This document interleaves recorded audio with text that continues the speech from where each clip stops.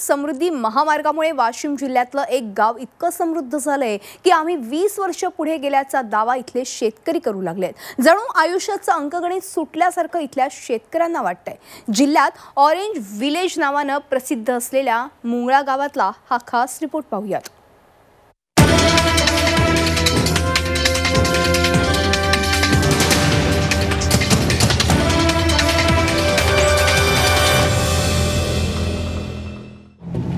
मोठमोठ्या कंपनींच्या डायरेक्टर कम्युनिटीमधलं एक पझल आहे. भल्या भल्यानं सुटलेलं नाही आहे ह्यामध्ये एकच रेश मारायची. आणि बेरीज बरोबर पाचशे पन्नास आली पाहिजे. गेल्या पाच दिवसांपासून मी स्वतः ट्राय करतोय.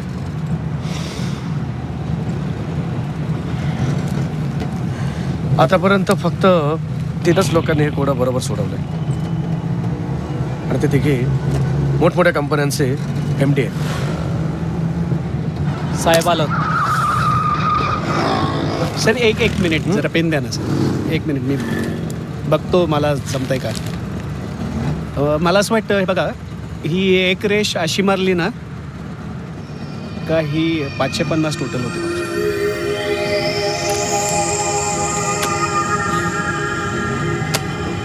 Yes correct very impressive Washim जिल्ह्यातल्या मुंगळा गावातल्या आनंद नाईक या शेतकऱ्यानं अशीच एक रेष समृद्धी महामार्गासाठी जमिनीच्या सौद्यावर मारली आणि त्यांच्या आयुष्यातलं अंकगणिताचं कोडं कायमचंच सुटलं.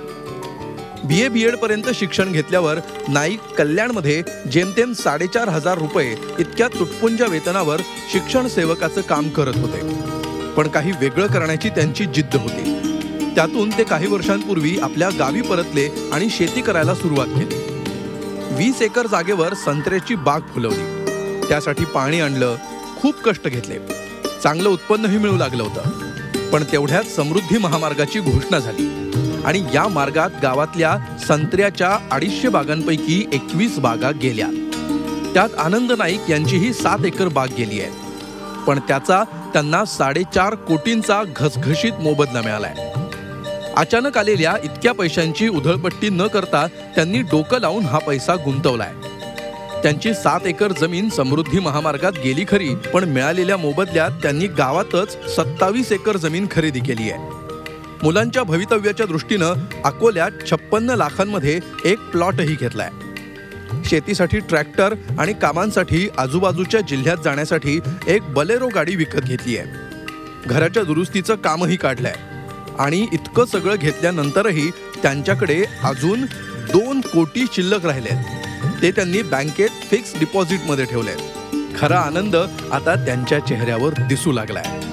एवढी समृद्धी ज्यावेळेस मुख्यमंत्री साहेबांशी माझी चर्चा झाली होती अमरावतीला त्यावेळेस मुख्यमंत्री साहेबाला साहेब म्हणत की बा पन्नास हजार म्हणजे वीस वर्ष महाराष्ट्र हा पुढे जाईल. वीस वर्ष महाराष्ट्र पुढे जाईल तेव्हा जाईल. मी आजच वीस वर्ष पुढे गेलो. कारण माझ्या मुलांची पूर्ण तरतूद मी करून ठेवलेली आहे. तर यामुळे खरा जो विकास होईल महाराष्ट्राचा तर होईलच होईल. पण आज रोजी ज्या शेतकऱ्यांची जमीन या महामार्गामध्ये संपादित झालेली आहे खरोखर त्या शेतकऱ्याचा उज्ज्वल भविष्यकाळ झालेला आहे. आनंद नाईक यांच्याकडून गावातल्या इतर शेतकऱ्यांनीही प्रेरणा घेतली आहे. समृद्धी महामार्गामुळे मिळालेल्या पैशाचा त्यांनी योग्य वापर केलाय. चार कोटी रुपये मिळाले. त्याचं काय करता आहात? आम्ही जमीन घेतली सोळा पंचवीस एकर जमीन घेतलेली आहे. कुठे? मुंगळ्यामध्येच घेतली. बरं. पहिले आम्हाला संत्र्याचं असं वाटलं की काही मोबदला मिळणार नाही. हं. पण चांगली मोबदला मिळाल्यामुळं आम्हाला ते जमिनी भरपूर झालेल्या आहेत आणि पैसा बी शिल्लक राहिला. त्यामुळे आम्हाला चांगला फायदा झाला. मुंगळा गावात समृद्धी महामार्गाला याआधी प्रखर विरोध होता.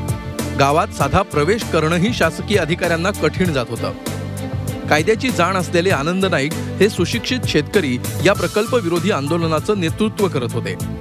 पण एके दिवशी सरकारनं पाचपट मोबदला जाहीर केला आणि नाईक अलगद सरकारच्या गळाला लागले. आणि गावात भूसंपादनाचं पुढचं काम खूप सोपं झालं. आनंद नाईक हा म्हणजे म्हणजे एक चांगले शिकलेले शेतकरी आहेत. आणि त्यांना सर्व बाबतींची सर्व शासन निर्णयांची वरपर्यंत वरपासून मंत्रालयापासून खालच्यापर्यंत ज्या काही शासकीय प्रक्रिया आहेत त्याची चांगली माहिती आहे. आणि त्यांना जे काय काय इश्यू जे मेजर त्यांचे इश्यू होते की असं त्यांनी कधीच म्हणजे जे जे आमच्या लेवलला जे इश्यू होते ते सॉल्व्ह होणाऱ्या विषयीच आमच्याबरोबर चर्चा केली जे त्यां म्हणजे पाच पटीचा विषय. त्याचा मेजर इश्यू होता की जे आम्हाला हे मिळावा मोबदला मिळावा तो चार पटीऐवजी पाच पट मिळावा. आणि तो शासनानं मान्य केल्यानंतर ते तयार झाले. मुंगळा गावात समृद्धी महामार्गाला प्रखर विरोध झाला आणि याच गावानं वेळीच समजूतदारपणा दाखवत विरोध मागही घेतला. वाहत्या समृद्धीत स्वतःचं भलं करून घेणं म्हणजे काय हे मुंगळा गावातल्या शेतकऱ्यांकडून शिकावं. Video journalist Anil सौंदडेसह Dinesh Dukhande Zee media Washim. Zee चोवीस तास. रहा एक पाऊल पुढे.